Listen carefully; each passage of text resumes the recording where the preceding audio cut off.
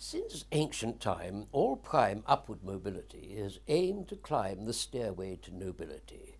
For instance, when King Charles was on the throne, that merry monarch oozed testosterone, and at his beck and call, from far and wide, his need for women had to be supplied, which meant, where once a subject laid his life down for his king, he now must lay his wife, with this advantage that these royal snogs made instant peers of the resultant sprugs. No sooner born, these bastards he begat, than Duke of this, the Marchioness of that, and so on.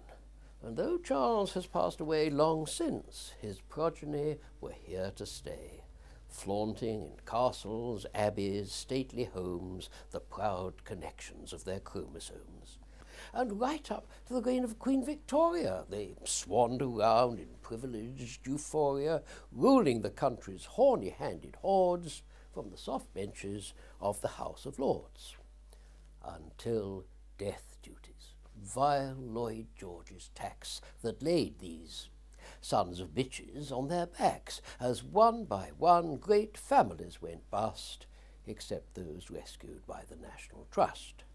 But recently, their reeling status quo has felt an even heavier body blow. New Labour, swept to governmental glory, observed their lordships tend to vote as Tory. So to correct this obsolete tradition and sweep away encrusted opposition, they axed this rule by accident of birth and filled our upper chamber up with worth.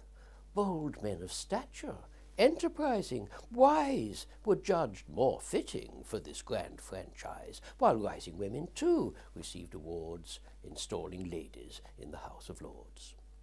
One matter, though, still merits close inspection, and that concerns the matter of selection for those put forward for such elevation.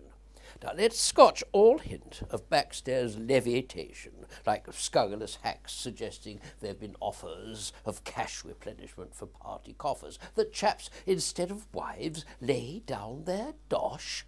This charge just will not wash, for it implies the dealings of democracy do not much differ from the aristocracy.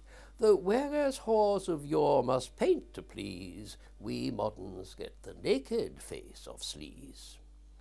So, if degrading upgrades once held sway, there's nothing like them on the cards today. Our PC system draws, we're told first-hand, new nobles from the noblest in the land, each one like Caesar's wife above suspicion and filling every ethical condition required for a patrician politician.